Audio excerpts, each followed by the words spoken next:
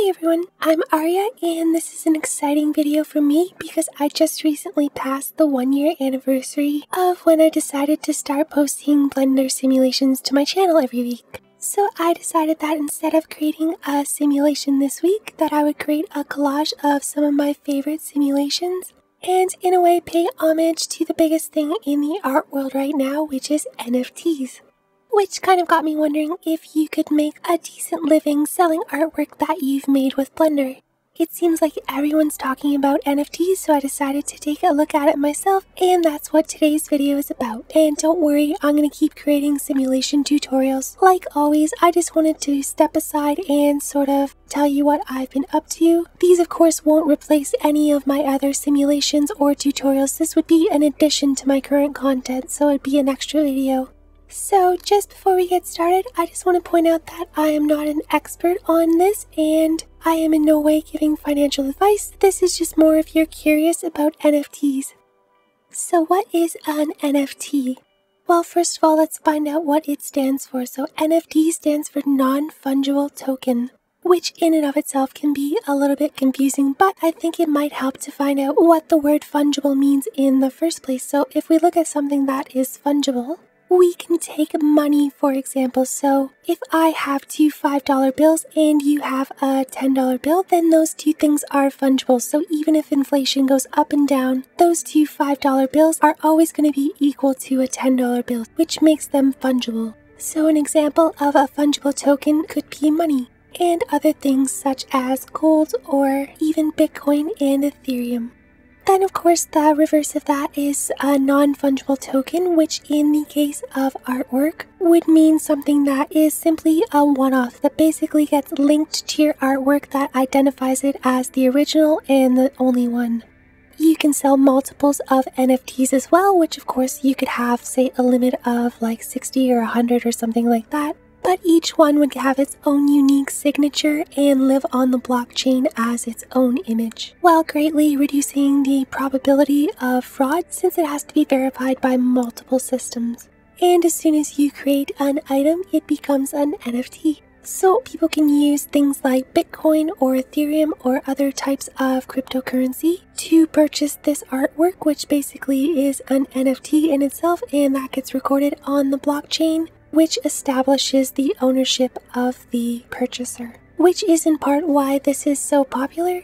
Because again, there's no possibility of copying these things even if you take a screenshot or download the image or video, the original will still be verified on the blockchain and be connected to the owner, which makes it very valuable. In the same way that when you take a picture of a piece of valuable artwork, it really doesn't have the same value that the original piece does and this is a way to guarantee that ownership for digital works.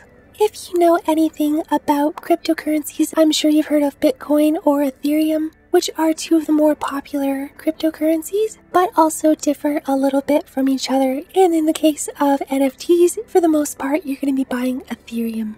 Of course, if you have Bitcoin or cash, you can always use those to buy Ethereum as well. Now that we've got a little bit of an overview, where can we find this artwork, where are these sites, and what's the best way to get access to those places? There are tons of different websites that you can go to. I'm going to leave a list in the description just of some links that you can check out, but make sure you do some research on them because I know that some of the ones that are less curated have a few more copyright issues, so just keep that in mind. But there are some great sites out there, so one that you can start with as a beginner is called OpenSea. And if you go to their website, you'll see that they're the largest NFT marketplace. And one of the major advantages to this is you can just sign up regardless of who you are.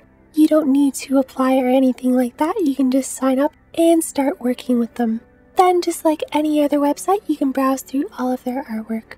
One of the websites that I'm trying is called Maker's Place, and this is a little bit more curated in the sense that you do need to apply. So, if you do have some artwork online, like ArtStation or a YouTube channel or something like that, the same is true for Nifty Gateway. If you just go down on their main page here, you can see that they've got a link here if you're interested in creating your own Nifties. You can become a creator here, so check that out, but you will need to answer some questions as well.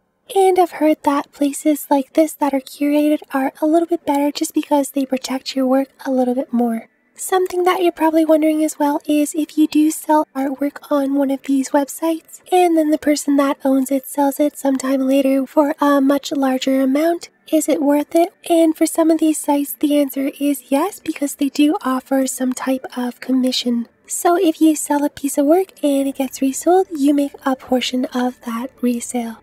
And as well, in certain cases, you can decide which person to charge that fee to. So you could charge it to the person that's selling your item or the person that's purchasing the item.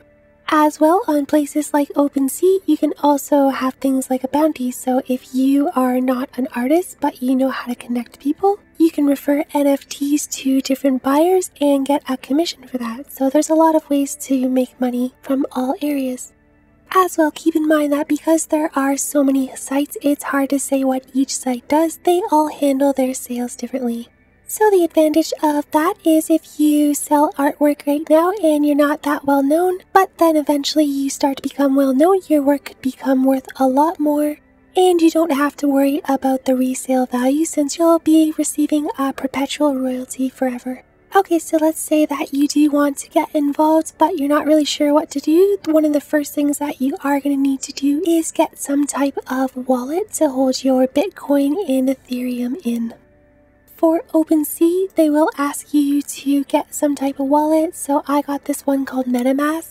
I'm not endorsing this in any way, it just seemed like the one that was the most useful to me just because it has applications for Android, iPhone, and desktop.